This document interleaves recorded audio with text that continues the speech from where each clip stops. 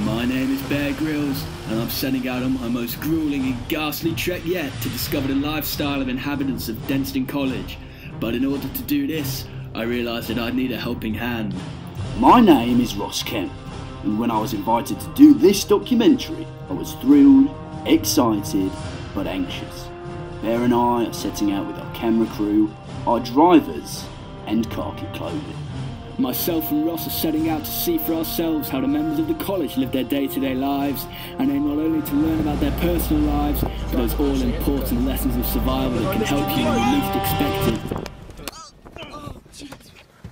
Our trip was already off to a bad start as we hit someone upon arrival. Okay, so the important thing to do when you get to the scene and there's a casualty there is you've got to ignore the problem and hope that it'll go away. So if you give me the camera for a second. Right, okay. Right, so the problem is not going away, so we need to bring matters into our own hands and get the casualty off the scene so no one else knows what's happened. There's so many people, in such a close area, it's going to get harder and harder to do this quickly and safely. So, quick and clean there. Take gout, I'll take the arms. Okay, let's go. Quickly, quickly as we can. Right. So what we need to do now is create a diversion and put him in a pose that people would not be alarmed by. So I recommend the sunbathing pose is one that people never really acknowledge or get caught out by. Right, back in the automobile. After our close call upon arrival, we realised that the first thing we needed to do was build a shelter. We're going to source materials from design and technology. The one thing you need to do is when you get somewhere that you're not familiar with, is to find those resources and build a shelter as it may help keep you alive. Not only are we here to find resources for shelter, we're also here to familiarise ourselves with our environment.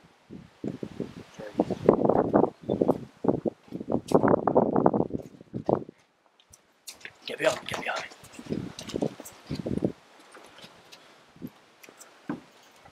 Pretty solid.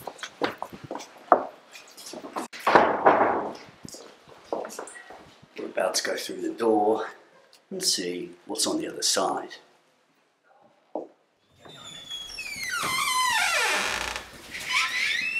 In here, safety is paramount. Now, if you look here, although this might not look like much, it's actually enough to warrant an A star at A level. Now, Bear, why are we here? The reason we're here, Ross, is the one thing you need to do is build a shelter. And you need to find the right materials to build the right shelter to protect you from the bad bits of the environment. So, Ross, let's go and see what we can find. Let's get hunting.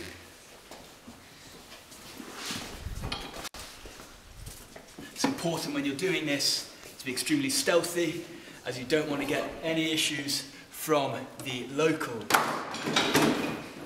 Sorry, Bear.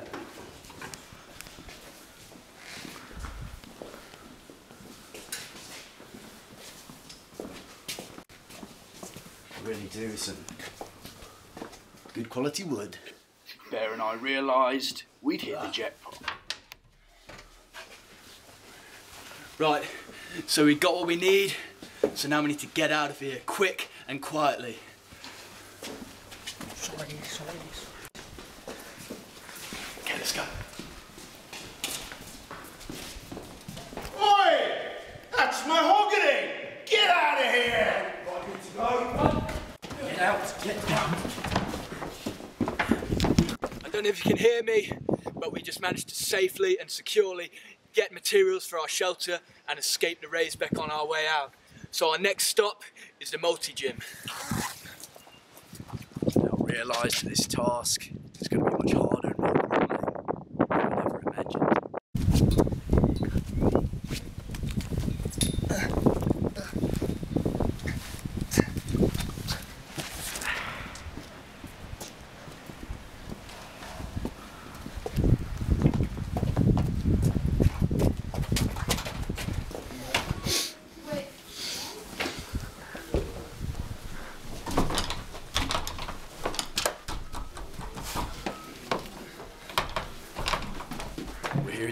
gymnasium, the home to the vicious gang, the Meatheads.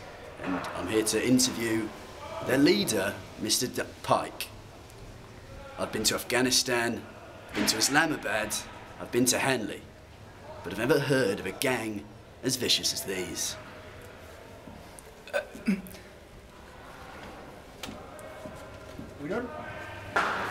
So they've agreed to meet with us, but for their own personal gain, we've agreed to keep their identity concealed. So you are? So my name is, uh, is Mr. Pike. I'm going to introduce you to my gang. This is uh, this is Goose. He's obviously he's the, he's the vicious one. He's got a big beak as well. That's why we call him Goose. Is Ed the car bulldozes people down like a uh, like a big car. He's, uh, he's struggling somewhat in the uh, the gains department, but we're working on that. This is Wilson, the powerhouse, the, the pocket rocket or the nugget. Any one of them is uh, is his surname, and obviously he's uh, we need another foot of, of, of size on him. Uh, and Nathan, the lamb sister. He's obviously uh, we're trying to lean him down a little bit.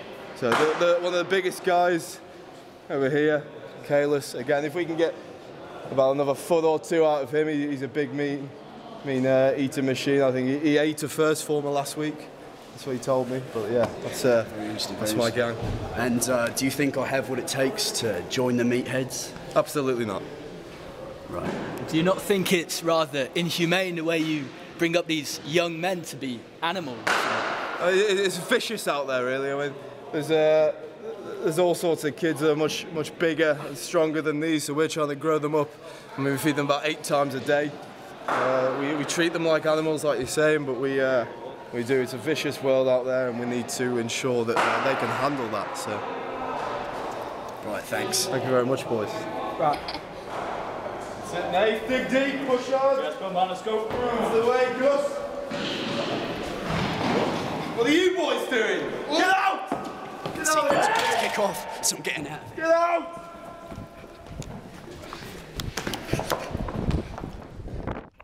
Next, we decided to go to the dining hall to get some food. We are on way up to our canteen to see if we can find any good source of nutrients to keep us going and more importantly, keep us alive.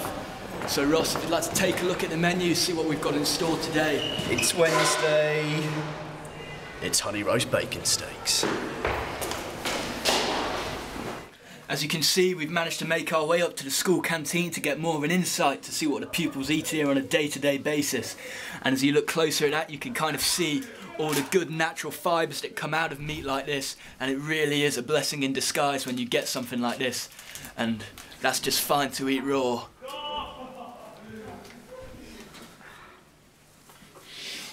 Oh.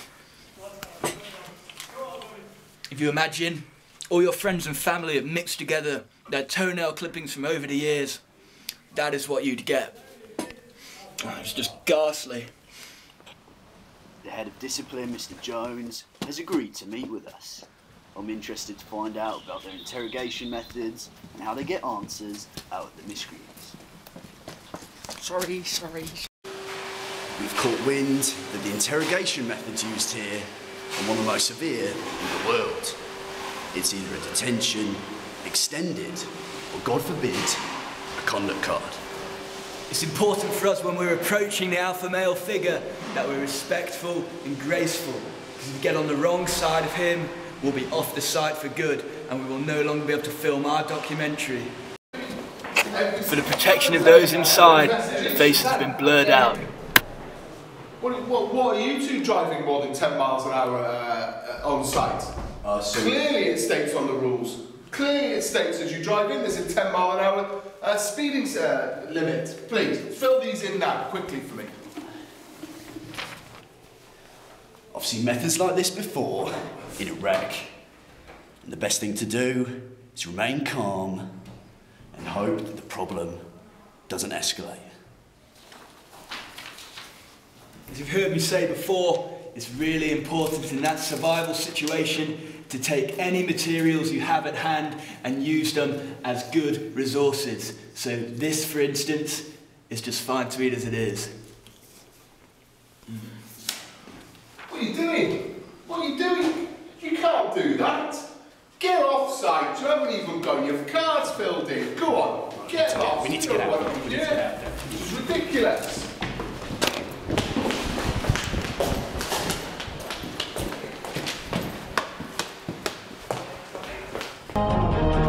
Time at Denstone has come to an end. We've learnt some valuable lessons, meeting some extraordinary people, whilst learning how the members of the college go about their day-to-day lives by applying those key survival techniques to protect themselves from the elements.